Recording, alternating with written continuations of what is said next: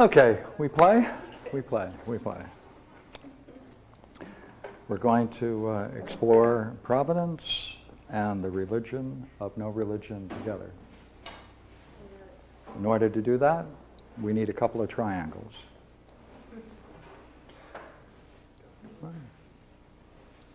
In order to do that, we're going to explore two words.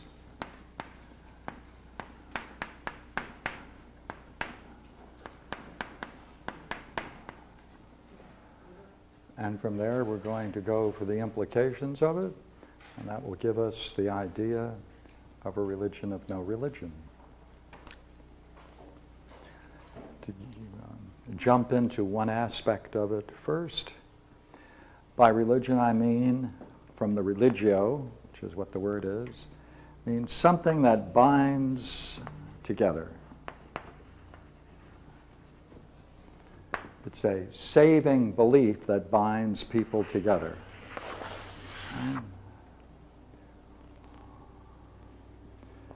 It's a saving belief, a belief that is thought to save someone. It's a saving belief.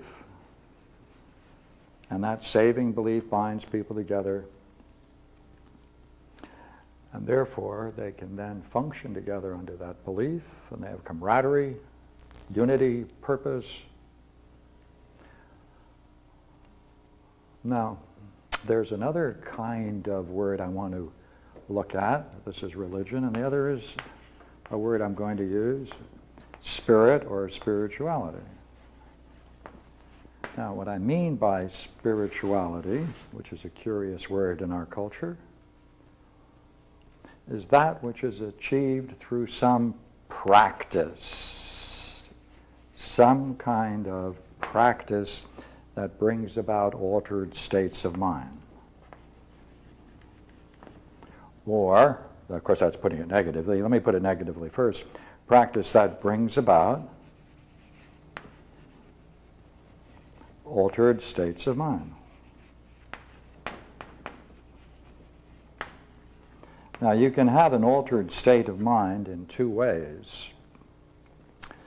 You can, you can gain something you didn't have before, and therefore, by that addition,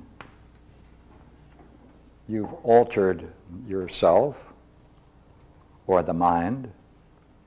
That's one model. The other is that there is an impediment, an impediment to our seeing. There's nothing, nothing you have to reach for. You already have it. Therefore, the other model is a purifying or a cleansing. And with that cleansing, there is an altered state of mind simply because the obscuring beliefs are no longer functioning to cloud vision. In any case, however you look at it, a person therefore can be engaged in all kinds of philosophical and yogic practices that bring on altered states of mind individually. This is a group effort. This is individual. This is therefore the development of the mind or the spirit. It's always an individual enterprise. Therefore, you can develop this realm without in any way participating into a religion as understood in this way. So there are some people who can be religious and never touch on spirituality. There's some people who are religious who seek spirituality. Right? There are the four groups. Right? The purists, those who have belief and they think that's sufficient. Those who have a spirituality, and they don't feel any need to combine with anyone else. Those are the two extremes. And between them are those two groups, which is really a mean. So that's the way we're going to use the terms this evening. Therefore, if there's going to be a religion of no religion, you can anticipate where we're going. That, that is, there may be a way in which these people can come together, but then they're not being bound by a belief, so it's not formally a religion in the sense that we just described it, but they're being bound together by a mutuality of religious, pardon me, of spiritual practices or philosophical practices or yogics. Therefore, that would be a religion of no religion. Now, Let's go over here with these two words, providence and fate, for a while. There are three things. Let's take the first metaphysically, all right? There is something then that some people call God, which is a curious word. In the Greek, it's a demiurgos, the, a maker. That's what it means, a maker. A God that is a maker, a divine that is a maker. And as a consequence of reflecting on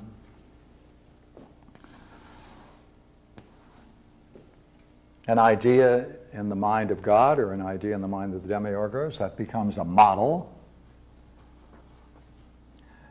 The demiurgos then can then generate or make a cosmos, a universe. Now, that means then we have a maker, something made,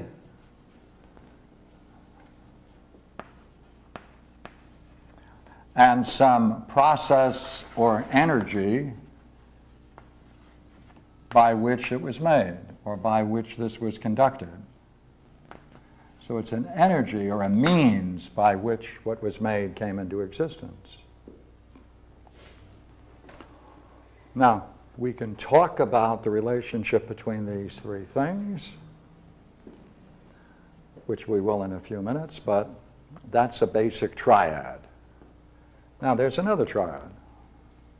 Luckily for us, we happen to have another triangle. Um, there is also an activity where there can be a provider, something provided, and obviously an energy or something by which that is affected.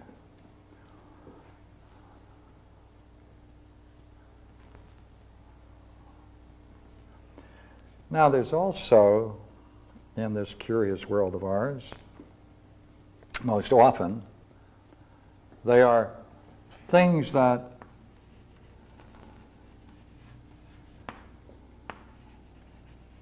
are connected by something that's doing the connecting, a connector.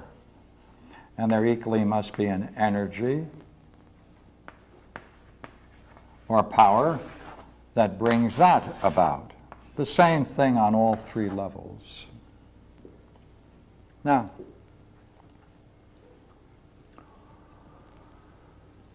notice what we can do now with this schema. There's always a middle term. Now, by a middle term, we have two extremes the maker and the made. These are extremes. The provider, the provided the connected, and the connector. the extremes. The middle term, the energy by which all of this is processed, that's the mean. That's the mean term.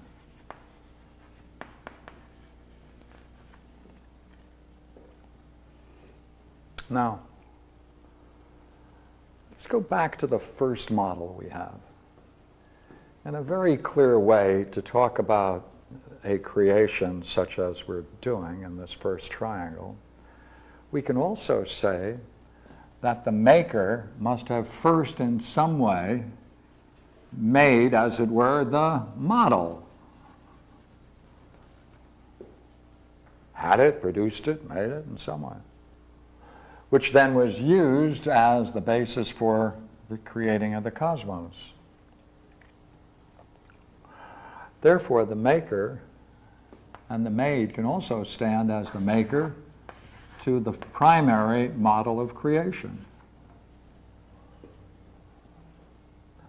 Now, that creation, that idea, which is the basic model upon which everything is generated or created, is the first creation. Clearly not a thing, it's a pure creation. That's sometimes called the logos, the basic plan, the basic rational principle.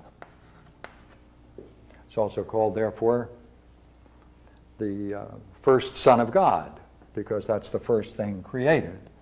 Therefore, the Son of God comes from this model. Now, um, that means, you see, in that first triangle, when we put in place not the cosmos, but this first model, then we can say there's some very interesting activity which is going on. Because it's that kind of divine activity which brought about the very idea for the creation of the universe. And for all universes, and for continuous universes of all kinds and of all diversities.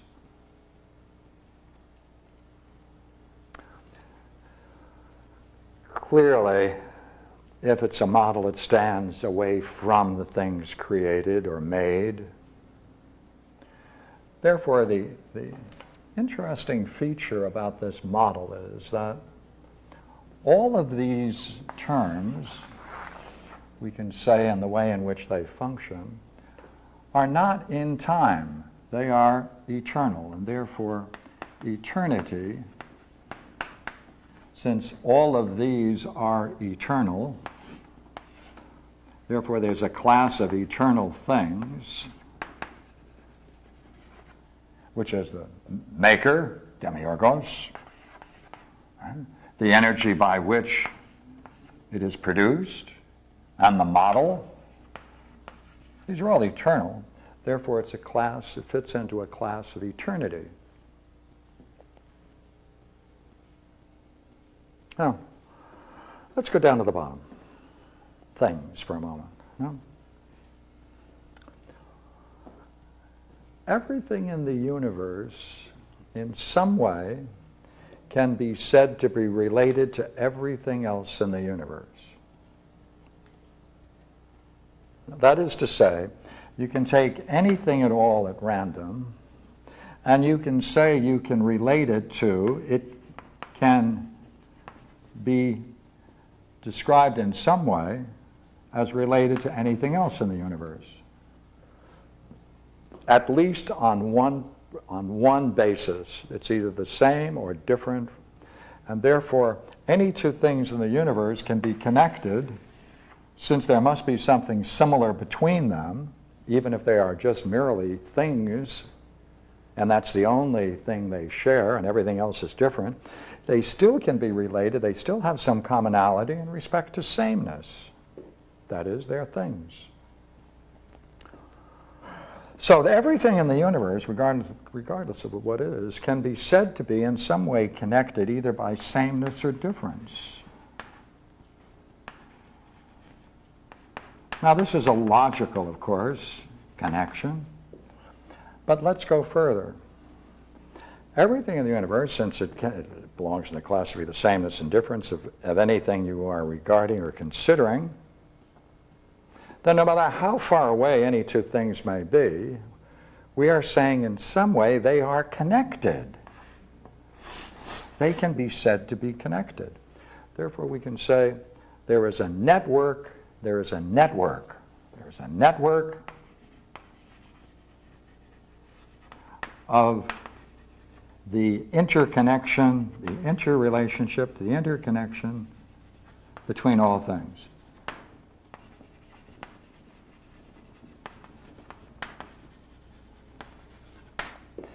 Which is to say that all things are governed by a certain number of laws and principles and all things therefore are influenced by them, and nothing escapes these eternal laws, whether you want to regard them as the laws of physics or philosophical principles, it doesn't make any difference. The point being that there's, this is an argument that's going to start with the, the view that whatever you regard as a thing, in respect to its physical aspects, it can be all related and connected with one another. Now, that complete connection of all things, this everything totally connected into all things, is sustained by a certain kind of energy. A certain kind of energy is necessary in the universe that provides all of those connections. Because through it all, uh, whatever a thing is, to the degree that it is in time, now this is always in time now, right? Insofar as it exists, it comes into time, passes out of time.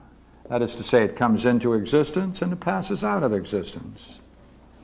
Therefore, everything in this triangle of connection and connectors is not in eternity, it is in the aspect of time. Wow, wow, look here. Now we have an interesting thing here.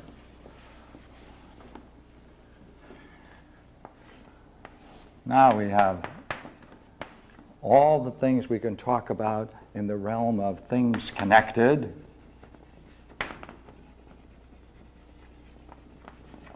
And obviously, that energy that connects them,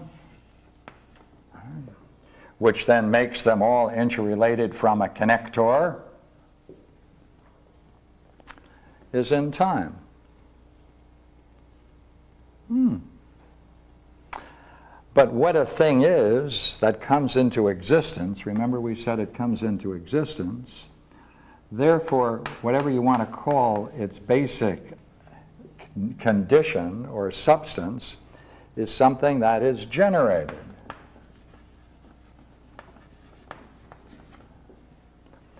So, in that class of things which are all connected, it is in the class of, of th- class of things called that participates in time, and it's all generated. Now we have a third triangle. Well, there's something about, about living things, and the class of living things.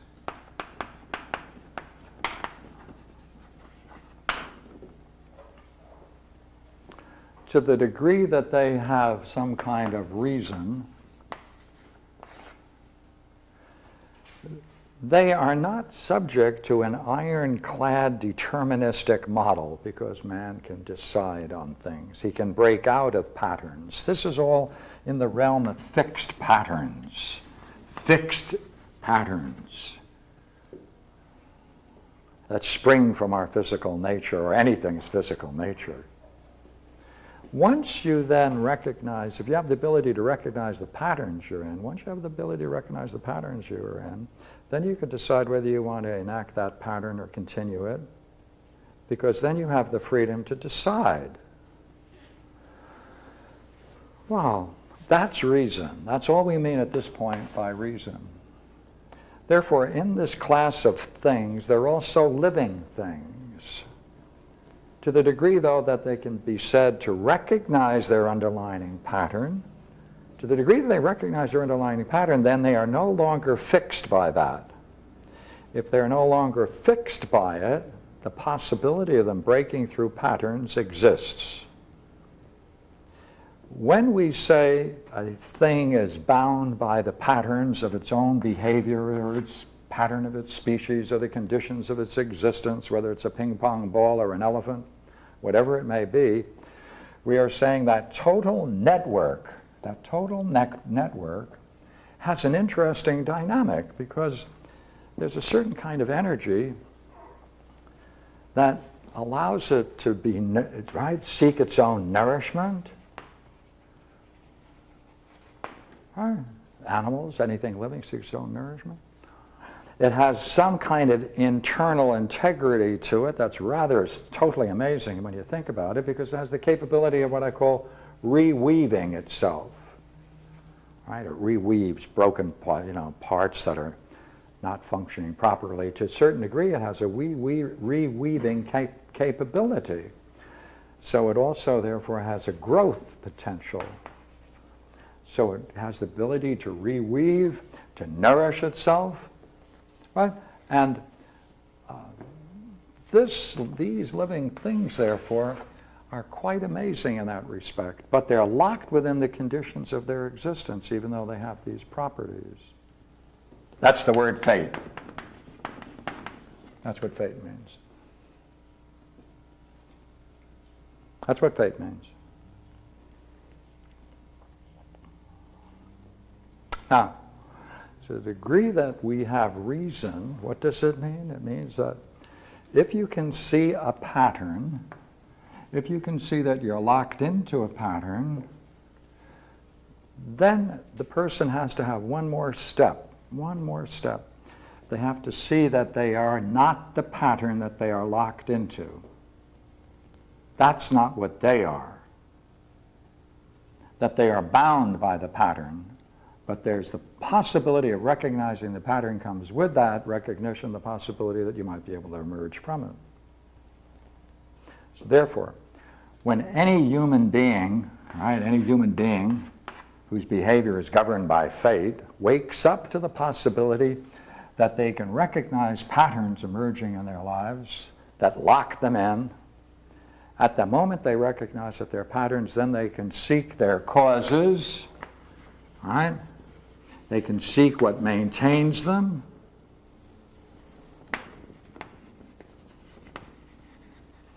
Right? They can also see the forces that bring about their dissolution.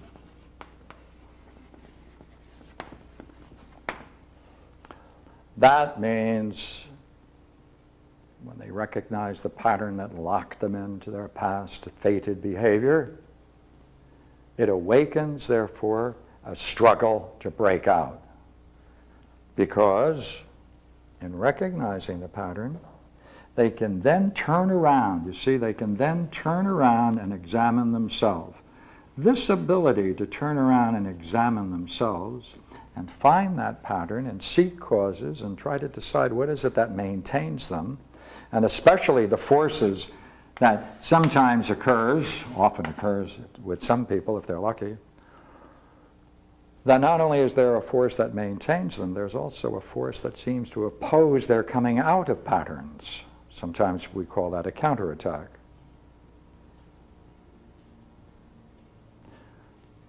Now, this ability, therefore, to turn around and decide upon it, that's your moment of freedom. That's the moment of freedom. That means we are no longer subject to the rules of fate. That's the beginning of the operation of providence.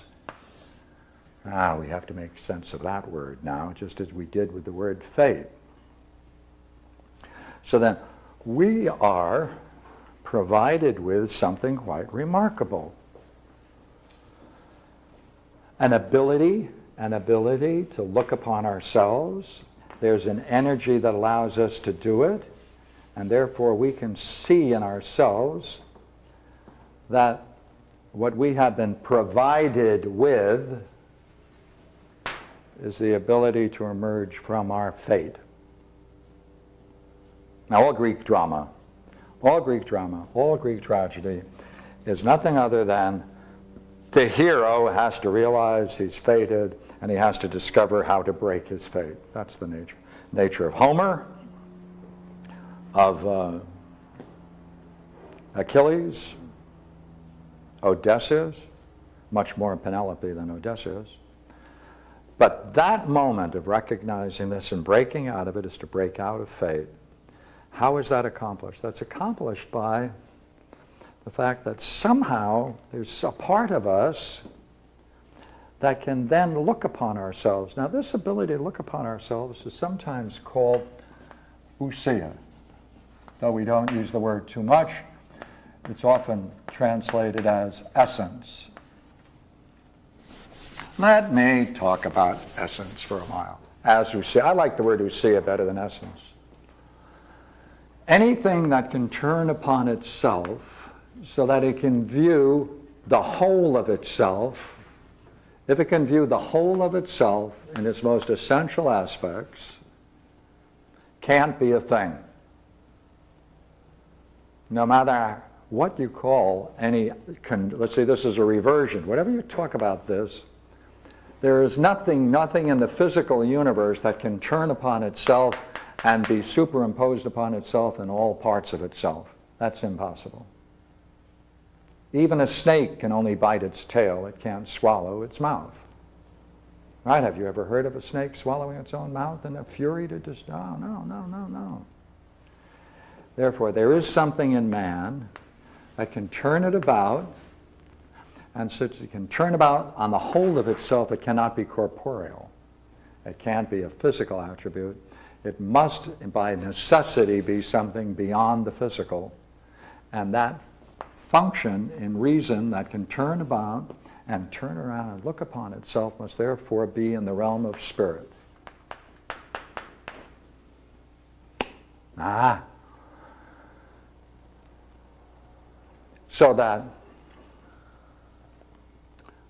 so that by the reversion upon oneself, one discovers the exercise of reason in a totally different way, because here is the need to understand. Understand the very things we mentioned, the cause is what maintains and dissolves. Oh, now look. What do you get when you then awaken this kind of reason to understand these things? What do you get for it?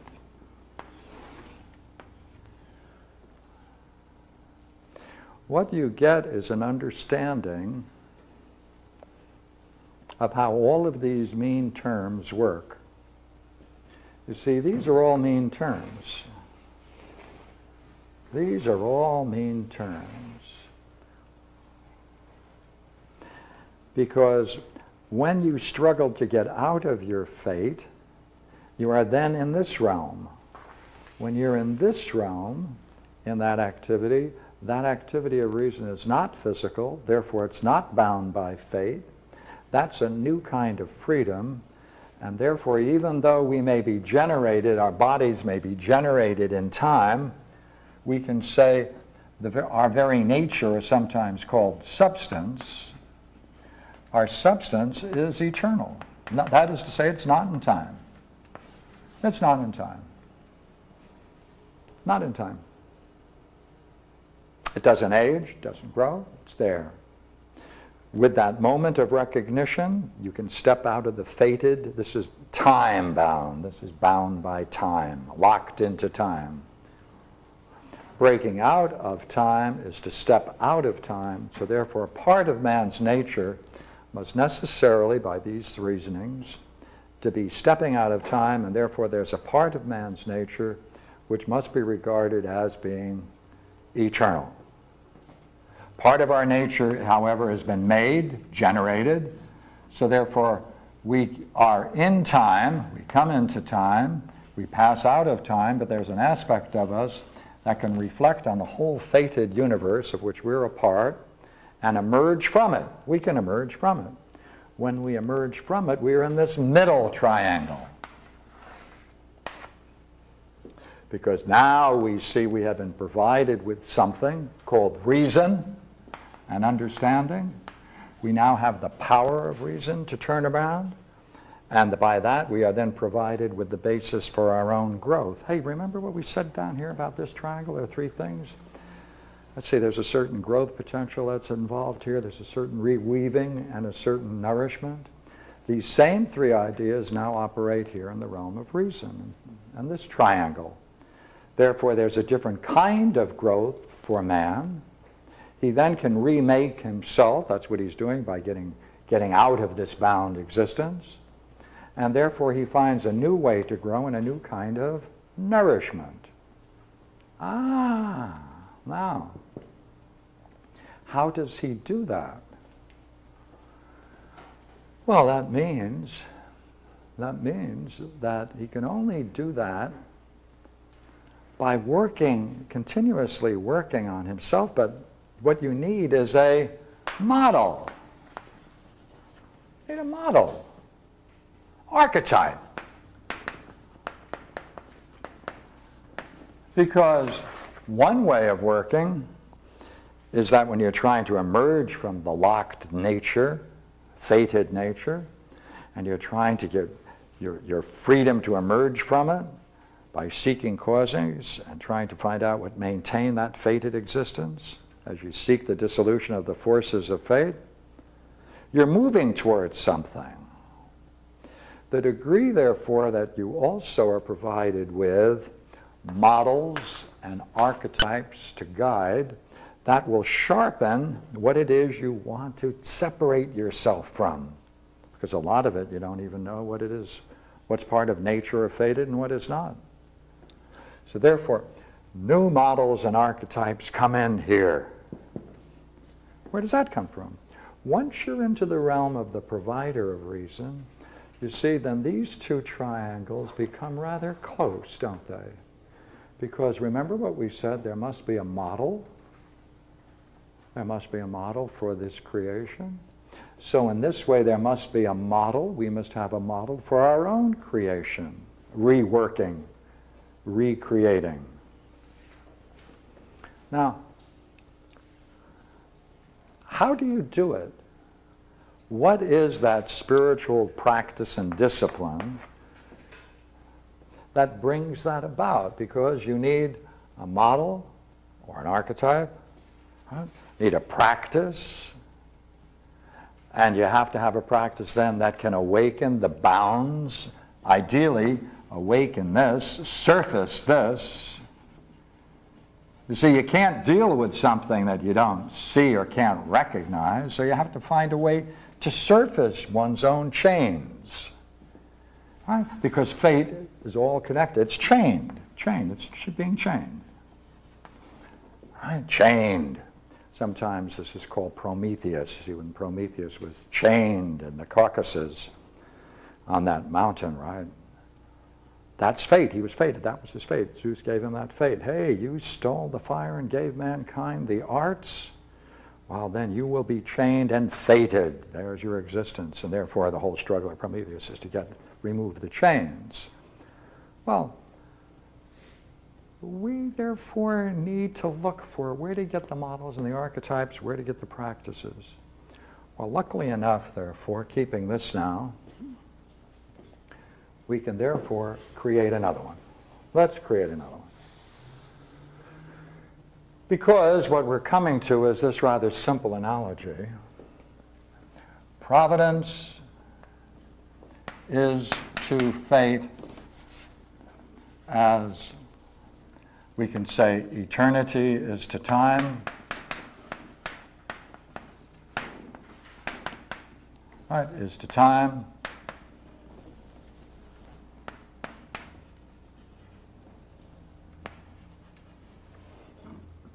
We can say providence is to fate.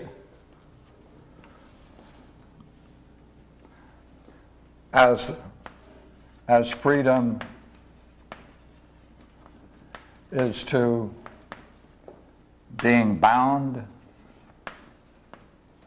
uh, chained, to use the image we had before. We can say providence is to fate. As a model, a self conscious model, a self conscious model is to a, um, an imposed model and order. Right? This is self revealed, as the other is imposed by nature. Nature is fixed. And since it's fixed, it's an ordered system. This is a very ordered system. It shows the whole thing is rational in the sense that it's all ordered, but it's fixed and locked. Therefore, providence rules fate, Providence rules fate, it's control, controls fate. It's a rational but rigid structure. Now, that means, right, if man then can, can emerge, going back to our man for a moment, all right, now we're now saying man, to remove the chains that bind him. He has to be able to see what binds him. I have to discover what it is. You have to know the causes, what maintains in its dissolution. You have to discover that. Well, to sharpen that ability, if you then have a model or archetype,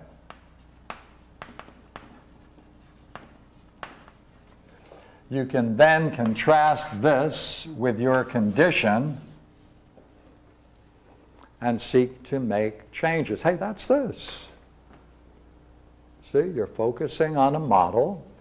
You're focusing on a model, and as a result of that, you're now going to create something. What you're going to create here, though, is a purification. You're going to try to get rid of the chains that bind.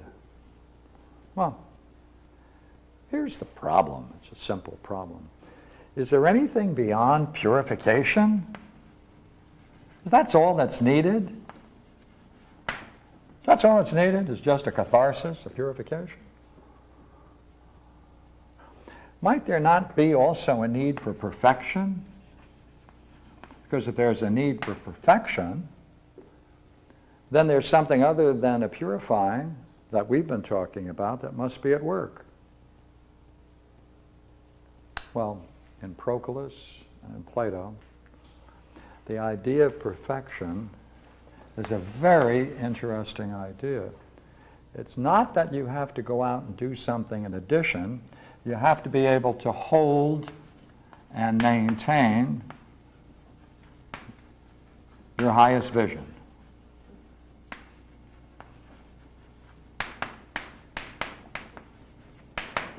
That's perfection. It's not doing something in addition, but it's trying to discover how to hold on and maintain your highest vision. That's the goal. That's the goal. Because we can always slip out of wherever we are and find the comfort of the old and the familiar, and that's the problem. Now, if this is part of nature, you see, if this is part of our universe, and not just a mere illusion, then there's something in our very nature that's struggling to try to bring about a greater degree of growth and perfection. That means there's something in the nature of the universe which is uh, good. Uh, and seeks to bring about a goodness.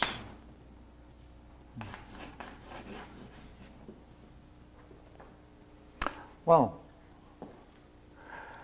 not only that, but it looks like it, in doing that, it looks like it's able to use, see, it's able to use this model, use it as an artist would use it to create. That means that there is a force in the very nature of existence that, that therefore uses, this goodness uses in, intellect reason and understanding to bring about that change.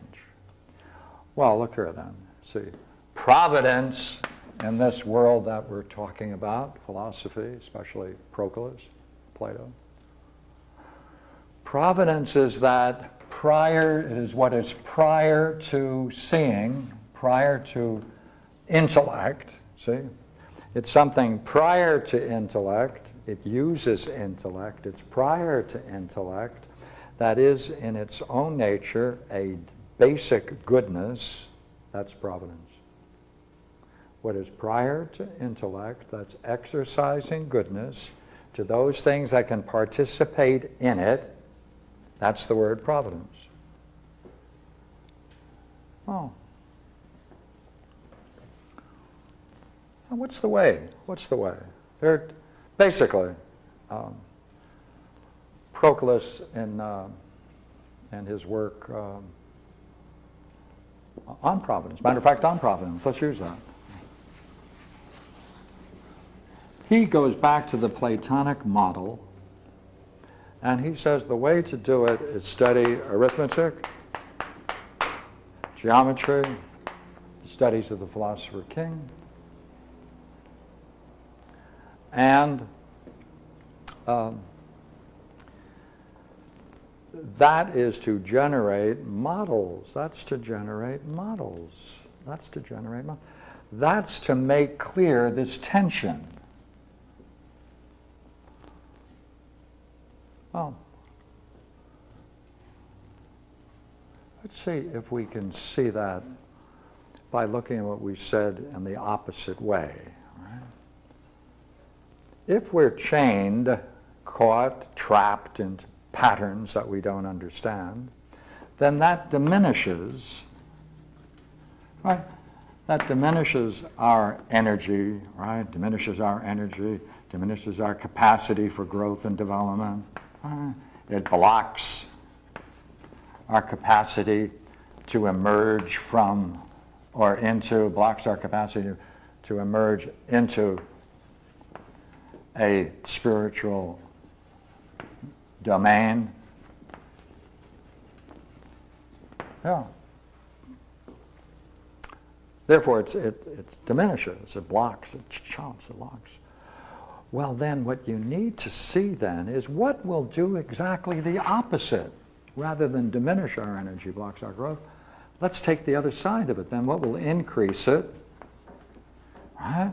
Increase our energy, bring about a greater potential for growth, uh, does, reduces blocks so that it's possible to merge into a more spiritual domain. Now, they are, in, in the Platonic realm, the key role of models and archetypes. I'm going to hold back from that for a moment and go into arithmetic. Now, this is a different kind of arithmetic, of course.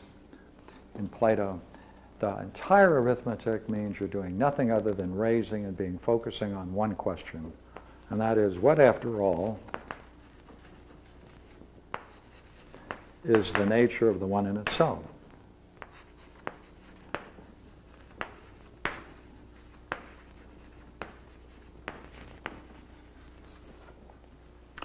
All nature is one all connected, interconnected. That's a one, a one that's many.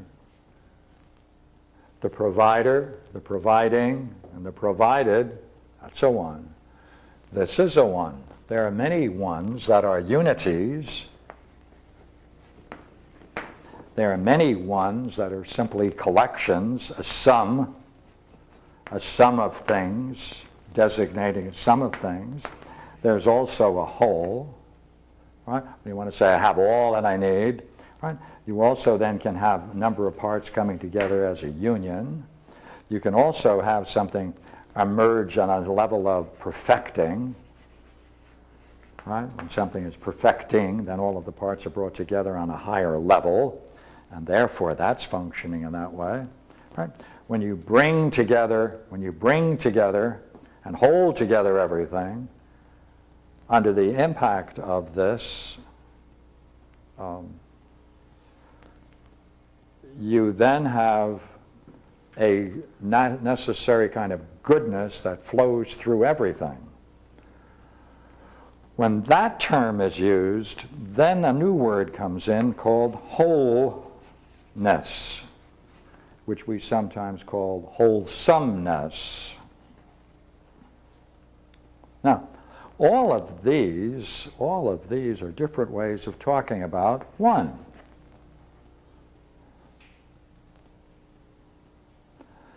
So look here. What would happen if you just decided to try this question out? Then whatever you're doing, you're going to be dealing with something in here, aren't you? Every time you're doing anything, you're involved in this. Uh, this is one. Hey, now I got one, two. I got two, both chalk. I got five fingers. I got one hand. It's all together. Unity. Ah, whole. No parts missing. Right. Uh, you can have a kind of relation, a meaningful relationship with someone. That's a union where you're willing to be free and be respected within your freedom and not be taken advantage of. That's a dimension of freedom. That's allowing risk taking so that you then are involved in a perfecting. And you hope that will bring about an, an, a relaxation of tensions bound by fate. Why then, good heavens, that's a one, that's a one, this table one, this is a one, this is a one. Good heavens, everything is a one. And you can use this language to talk about in what way it's a one. But since the idea of one lies behind all of these, since there are different ways of talking about one,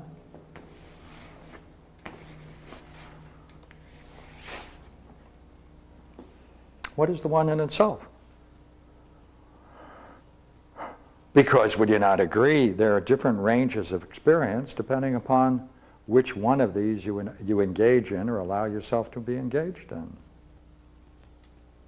So everything is a one. Well, then that's all you are. Hey, wait a minute, the entire universe is a one. Hmm. Uh, all nature is one. These three triangles are all one triangle, different aspects of it showing itself in three different dimensions, but basically one. Right. Then everything is nothing other than a one in these many manifold ways of being one. Well, suppose someone were to say, look, I don't want any more worrying about or dealing with the way in which the one can manifest in all these different ways. What's the one in itself? Say, excuse me, what? Say, well, look here. There are many different kinds of colors. Right? Many different kinds of colors, red, yellow, blah, blah, blah. And there must be something that they all have in common by virtue of which you call them color. Yeah. Well, you can ask, what is color, can you? Yes. Well, then, if these are all the different ways in which you can express one, then what is that one which runs through them all? Because none of them are one in itself.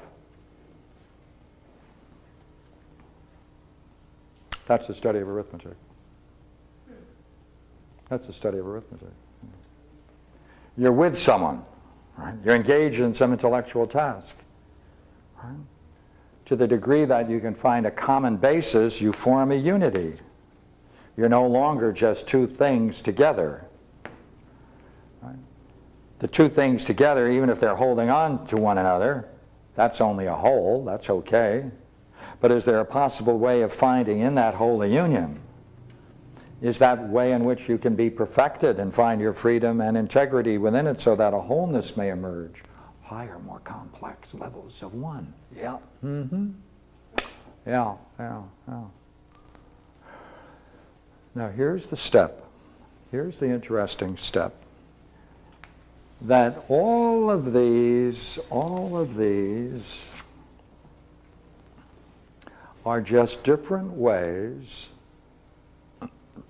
of sharing in the one. But since all of these things bring about a wholesomeness, a perfecting, therefore it's also good. And must um, much show itself as a higher degree of goodness as you proceed through each one of these categories. Well, then it looks like the one and the good are the same or identical. Well, that's nice to know. But what is it in its, what is the nature of the one in itself? Okay, let's shift gears for a moment. All right. Let's go into the realm of religion.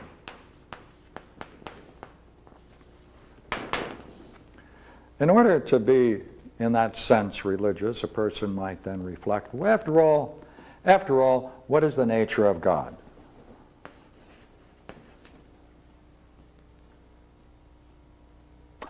I don't know whether you can do that. You might ask, what after all is the way in which, the way in which a person can relate to God?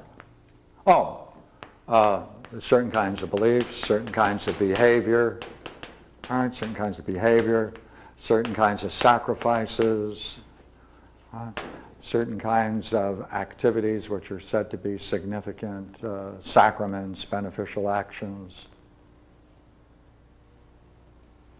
But you see, behind all of this must be an image of some God, which then is related to in these ways. So the person who's religious, who wants to grasp the nature of the God that they believe in, is required to end up doing something, believing, having their behavior modified, enter into sacrifices, enter into relationships with their other members who share the similar beliefs. That's different than this person, isn't it? Because this person, after all, what is the nature of the one? Whatever they encounter, they're seeing nothing other than a manifestation or a shadow of the one in itself. Therefore, this leads to more advanced states of mind. That's what we called them a moment ago, didn't we? And therefore, this is a spiritual development or a philosophical dimension that is not in the same class as this dimension. Therefore, this is a philosophical training that then brings someone closer to this model, this basic triune model. Now, look, look here. Let's put one more thing in here.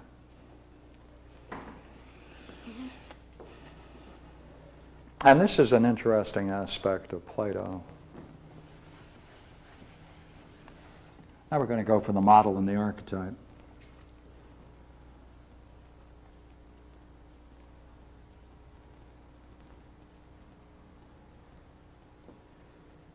Same triangle, same triangle. Model. Hmm. The person who seeks to act upon it and the relationship they may get with another. We can use this as friends might, but most often among lovers. That this person then has an idea of the way in which he thinks he should be. To that degree, he wants to enter into a relationship where he can find those same qualities in the beloved. So, in that way, he's going to encourage a kind of relationship and development with that person that can make that more apparent, surface it. To the degree, therefore, that he's clear about the model in his own mind, to that degree, then, he can share that model with the other so that they then are not just being, uh, as it were, fated, bound by that imposition, but to the degree that the other party can enter into that with freedom, then what they are then doing to the degree then that they focus on the model and purify that model and learn more about that model, and then exhibit that kind of uh, way of being in themselves, then the distance between these three diminishes. It diminishes. That's what you do with a model in the Greek world. Now, that's the model in the Phaedrus.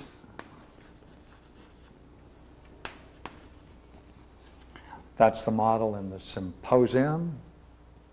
Different kind of model, by the way, because the model in the Symposium is the teacher as Diotima.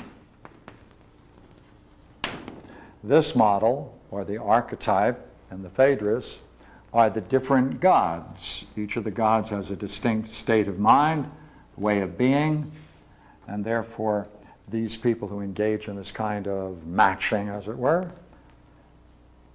then must be clear. The clearer they are about the particular model, they may go for Zeus, Apollo, etc.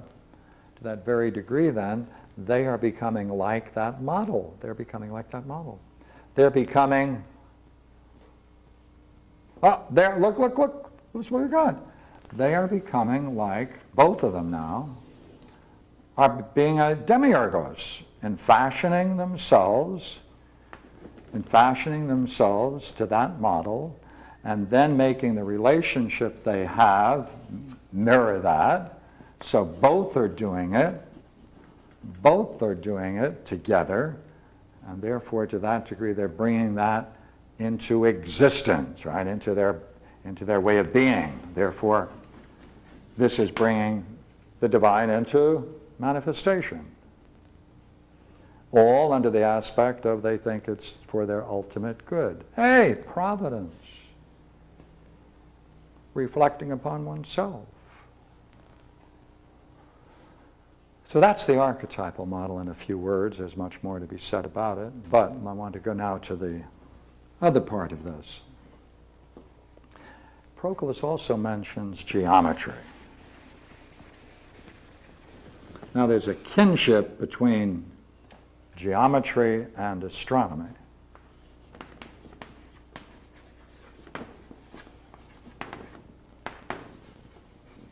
Now, Just as we are understanding arithmetic in this very high sense, purely speculative sense, same thing is going to be true for these two things.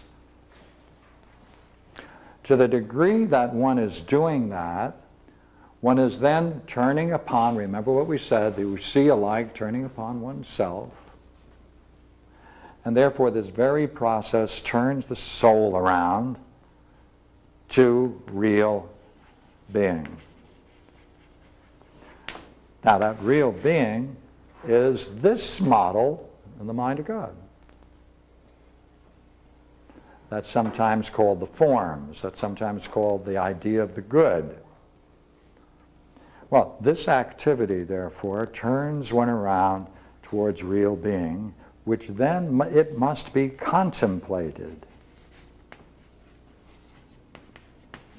Now, what does that mean? You see, these two people we were talking about, they can then reflect on their daily lives, they can reflect upon their model, they can engage in ways in which they can compare what they're doing. They're actively participating in this kind of growth. Remember what we called it? Growth, nourishment, reweaving. They're reweaving, refashioning themselves in this process. That's a contemplation. That's a contemplation, to contemplate, right? To consider, to reflect on, to do. And finally, to merge with the model itself, real being. The problems one engages and the one encounters, the problems one engages in, the problem one encounters in doing this, that's what he calls astronomy which then have to be unpacked, understood, resolved. That's what he calls astronomy in the Republic. Different than we call it. Matter of fact, he says our astronomy goes real contrary to the way in which astronomy is discussed by among the, the adepts who then look to the heavens. He said, we don't look to the heavens. Said, That's what they do. We don't do that. We want to see, we want to study it in the same way that geometry is studied because we're interested in the problems encountered in that realm. So therefore, the problems that are discovered in this process are called astronomy. The problems that are surfaced is called the contemplation of, of this activity. It's called geometry. And that's nothing other than, than doing this one after all is the one. Because would you not agree, as this process goes on, what's the final end? Oneness. Therefore, they're becoming one. Therefore, if they're becoming one, they may catch a glimpse in this rather quite interesting and fantastic problem, which is what, after all, is the nature of the one in itself. Rather interesting, isn't it? Now I got a quote I wanted to read you.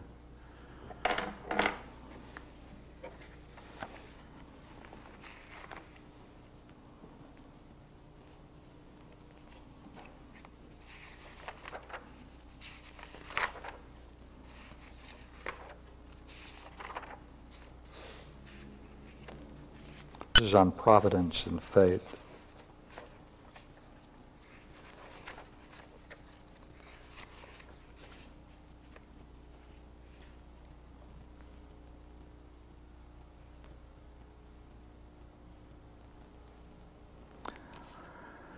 He talks about trying to get away from the fated existence.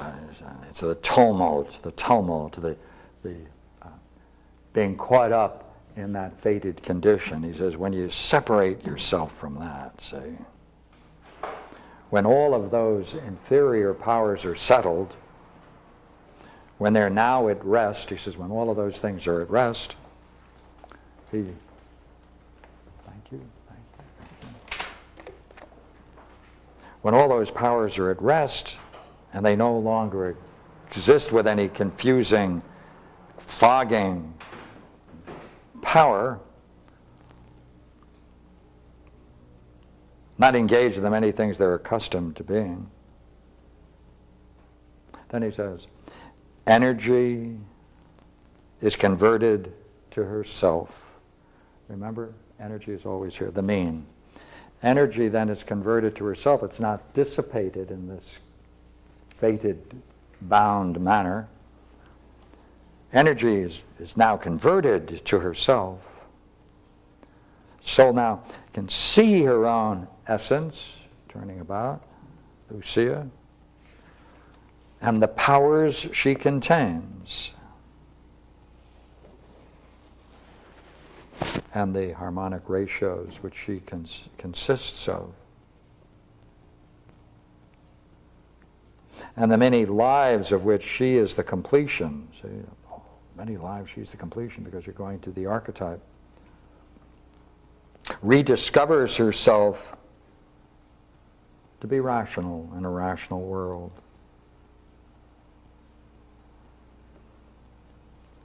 The image indeed of the natures prior to herself from which she departed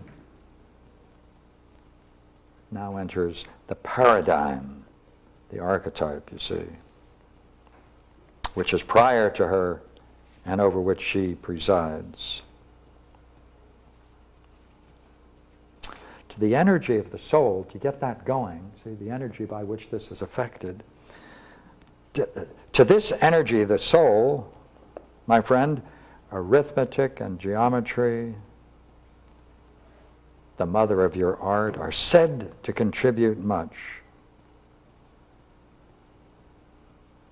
And he says, because it purifies the intellect from the rational forms of life with which it is surrounded, fated, and led to the incorporeal comprehension of forms. Finally, he says, led to the lustrations of the future mystics and to the most sacred of mysteries.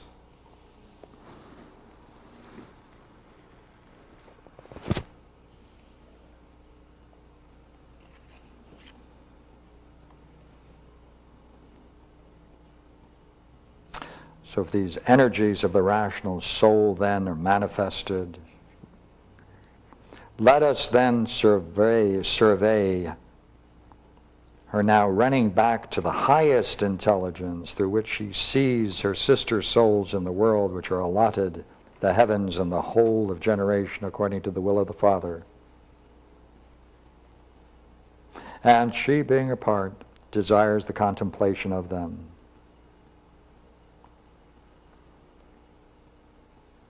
She, that's the soul always, sees the intellectual essences and the orders of what are. So therefore, the soul is led upward by intellectual surveys to truly mystical intuitions of the supramundane gods.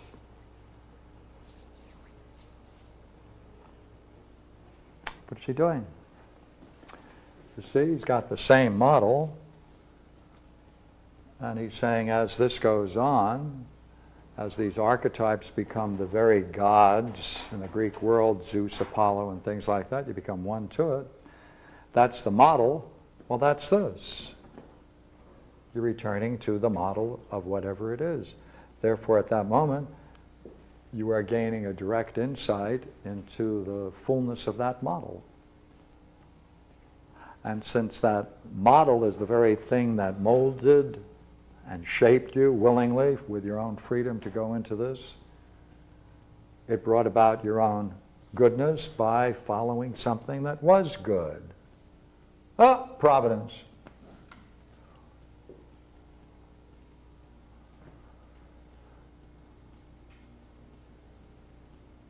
So, this is a spiritual system, a philosophical system, highly condensed for the evening which has a spiritual basis, since it's a, involved a kind of practice where one's whole life becomes the arena through which you practice and in which you practice and develop and cultivate reason and understanding of what's chaining you. Where you focus on the pattern. See, this is a pattern and the model is a pattern. Only this is a pattern where you're locked in by nature, by your own interior forces. This is one that's lofty with which you can emerge. So therefore, it's a spiritual or philosophical practice that's providential, that therefore is the basis for a spiritual way of existing without being holy. Wait a minute, what? Yeah, you don't have to be holy. Hey, it requires a different kind of sacrifice, not the same kind of sacrifice. The behavior will be changed, but not because of some acceptance of certain vows or commandments. There's no belief involved in it. There's no binding belief that's going to save you. This has nothing to do with belief. Because this is a way of seeing whether your beliefs can be confirmed in your own experience. Therefore, it is a spiritual system that has the same goals, highest goals, but it's not a religion. Therefore, it's a religion of no religion based upon the idea of providence, which is what I wanted to talk about tonight. Thank you. Hmm. This providence. Is that, um, is that, uh, personal for each person? Each person's providence is his own unique? Because each person is, is a result of all of the particular forces, the particular forces that lock them, though the, this, the same forces, the same set of beliefs may bind you, but in each person it's going to be a unique set of them. So there's no general solution. If there's no general solution, then there's no basic belief. That will save you. See, in this game, the, in the realm of belief, this is really the realm of belief. Mm-hmm. Being trapped into this invariably must spring from particular beliefs imposed at a particular time under very strict and, and particular conditions. Therefore, there's never any general solution to the problem of one's fate. There isn't any general solution. One have to find the particular causes. Right? Therefore, you have to go into the particular, you have to see it most particularly, or you can't get out. Because that's what the imposition of belief is. A particular imposition of a particular set of beliefs under certain circumstances that are maintained over a length of time that control So that's your fate, your one's fate. personal That's one's fate. So you have to know that Yeah, well. yeah. And then providence, and then you employ your providence, or? Well, see, remember, providence Is Before intellect. is a word that's difficult to use because we don't use it very often. Yeah. But what it is central, what the word providence just means is that there is built into built into the universe, our universe, Mm. a basic goodness that allows this growth and transformation. And since it uses intellect and reason and understanding, since whatever is used, right, must necessarily have a less of a status than what's using it. So here, therefore, since it shows a goodness, what must be prior to a goodness is the good. And therefore, built into the nature of what is our reality is a goodness which uses the intellect, reason, and understanding. For those who want to take the challenge, that's providence. Prior to intellect. That's what the word means. Some goodness prior to intellect. What's providence? Some goodness prior to intellect. That directs and uses intellect to bring about a goodness. Therefore, it presupposes there must be, in the nature of reality, the good.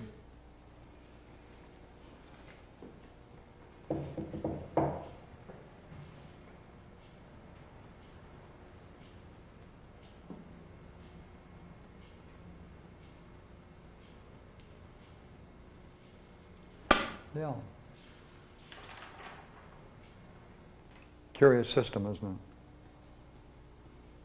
it? Huh? Curious? Yeah.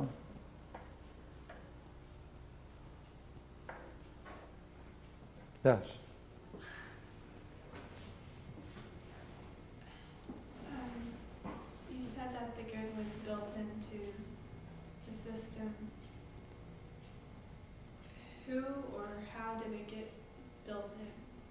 Who or how did it get built in? Who or how did it get built in? Who or how did it get built in? You mean the goodness? The good. What? The good.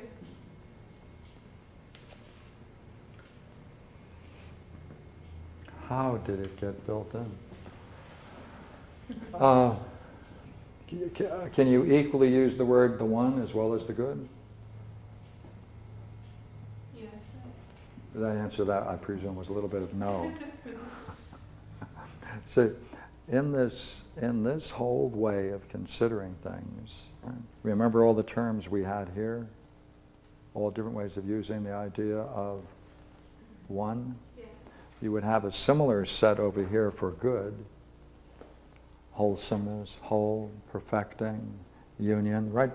That, as you proceed with the set of terms about the good, you would find an overlapping of terms, and therefore you could then show how those overlapping terms can be interrelated, and that will be then a definition of why the, the one and the good are the same or identical, which is what Proclus does in the 13th proposition. Now, let me, uh, let me see if I can deal with your question.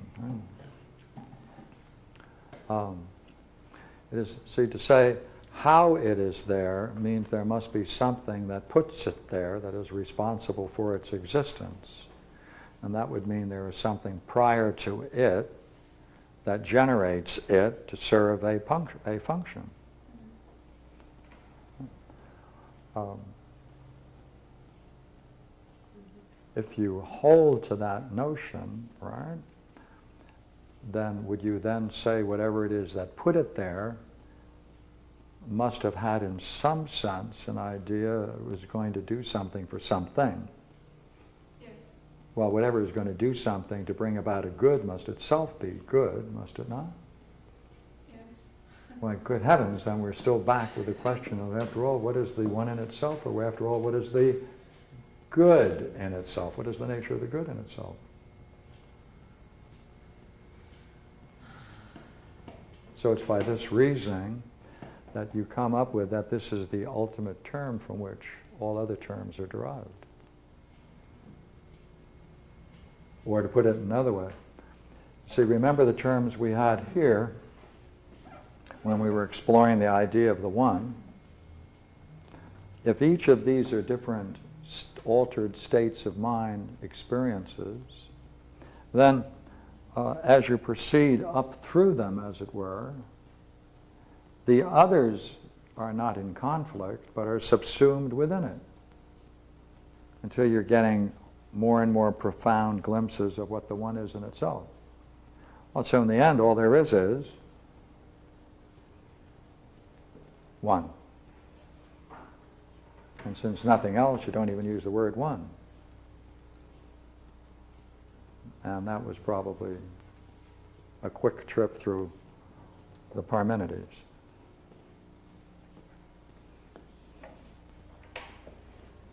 So let me ask you, what is it like going through this? Um, mind-boggling. Mind-boggling. What's that? Mind-boggling? To boggle. to boggle the mind. And here we are trying to unboggle the mind, and we're turning around and boggling up the mind. Well, this is a way of talking that's uh, not very many people get involved in. It's a um, old way. It's an interesting way. Um, I enjoy it. Well, it's nice that it's got the two parts, the, both the purification and the perfection. Usually, Mm-hmm. there's one or the other, not both. Oh, yeah, it has to be, you have to have both. See, then there has to be a vitalizing, because to do that, see, to the degree to which you get out of that, then more and more energy is available to you, naturally. And that vitalizing is a result of turning the mind around on itself. Right? So you have a perfecting, a purifying, right? You have a vitalizing, you have a turning the mind around upon itself. All of these are actions of something that's all going towards the good.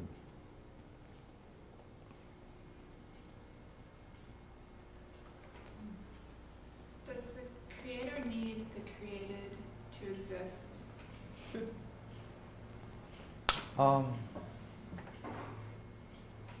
takes this argument. Um, it's a curious argument. I can give it to you in this way. Take three things. right?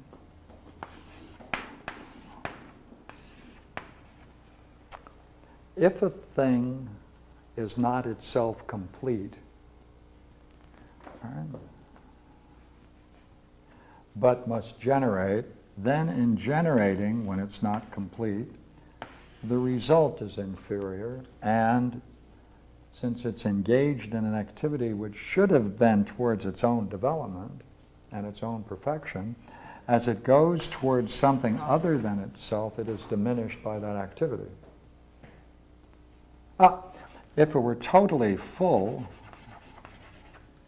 and if it were to generate and create, well, then, to that degree, that activity itself would diminish part of its fullness. It would be a drain. Right. But it certainly wouldn't be like something incomplete that started with it. It wouldn't mean that the production is inferior. Its production could be, in fact, as close to perfection as possible, but it would have been diminished by the act of creation. Wait a minute, is there a possibility that therefore any kind of creative process is a fountain, an overflowing, a natural overflowing? If it's naturally overflowing, then it's not two or three. And therefore, if it is full, if it is full, complete, and an overflowing of abundance, then it's only natural it's going to create.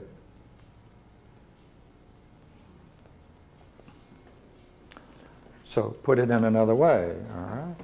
To the degree then that you can take a look at what it is that's generated, to the degree that, see, to the degree that you can finally see the inferior nature of, your, of the creation, whether you're talking about uh, sculpting or relationship or whatever it is one is making, and one can then take a look at the creator of it and see that they were diminished by the very act of creating it, you know that they must have sacrificed for that creation themselves. Hmm. Here. Here, if they are full, right? Complete, full, then by the very act of creating, they had to be diminished by it, and that too was a kind of sacrifice. Now, what would happen to anything over here that had the power then to turn around and seek its own source? It would discover, would it not, that its own creation was done by a sacrifice of the Creator. And therefore, that would mean, therefore, the person then must recognize that that role, that existence they have, was borrowed by the Creator being diminished. Ah, over here, the person that returns to the source. What is it they would more likely encounter? An overwhelming flow, no, no depreciation, continuous creation, continuous creativity. Therefore, the universe in this model of the demiurgos, it's not a one-shot creation. But so long as the demiurgos is focusing on the model, that is what sustains it and continues it, and it's a continuous overflowing. Now, in this game, there is, you can also talk about um, an order of the divine above this that isn't engaged in this. That doesn't, as it were, see, this is an activity of seeing itself, and in that seeing itself, there's a natural consequence. Therefore, there's an order of divine where the seeing itself doesn't follow. This doesn't follow. Therefore, there's an order of gods or an order of divine that doesn't go through that creative process. And so on. There are four orders of gods. And, and uh, well, okay. There's a maker, there's a God the maker, right? Or as he calls it, there's a father, there's a maker, there's a godfather, and there's a father maker. But So there's a maker. It's, a, it's an analogy, four terminology. There's a maker, there's a father. There's a father maker, and there's a maker father. What we often deal with is the maker father, demiurgos. So we ought to do that one evening. Mm-hmm. All right, you can then see their four orders. All right? Mm-hmm. Thank you.